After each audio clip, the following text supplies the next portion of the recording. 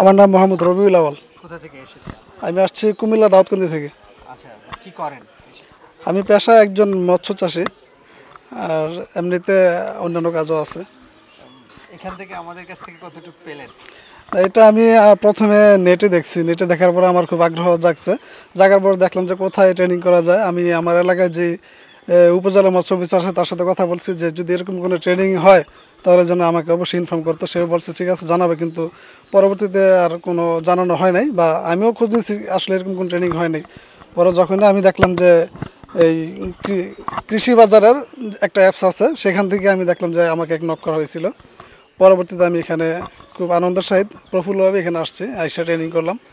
এবং ট্রেনিং করার পর যেটা জানতে পারলাম, সেটা হচ্ছে যে অভিজ্ঞতা হচ্ছে সফলতা চাবিকাঠি। আপনি অভিজ্ঞতা না নিয়ে যদি কোনো কাজ শুরু করেন তাহলে সেখানে আপনি ততটা সফল হবেন না এটাই স্বাভাবিক। আর এখানে দুই দিন ট্রেনিং করলাম ট্রেনিং করার পরে আমার যেটা জানতে পারছি আমার মনে হলো যে এখানে মোটামুটি সব কিছু জানা হয়েছে। তারপরেও যদি কিছু বাকি থাকে আশা করি আপনাদের কাছ থেকে জানতে পারব পরবর্তীতে। আর দর্শকের উদ্দেশ্যে কি বলবেন? আমি দর্শকদের উদ্দেশ্যে বলব যারা এখনও বেকারত্ব ভুগছেন তারা চাকরির দিকে না ঝুঁকে নিজে প্রতিষ্ঠিত হন ব্যবসা করেন ব্যবসার দিকে আগ্রহ হন আর বায়োফ্লক একটি অত্যন্ত লাভজনক একটি ব্যবসা। আপনারা এদিকে ঝুঁকেন আশা করি ভালো হবে। ধন্যবাদ ধন্যবাদ আপনাকেও।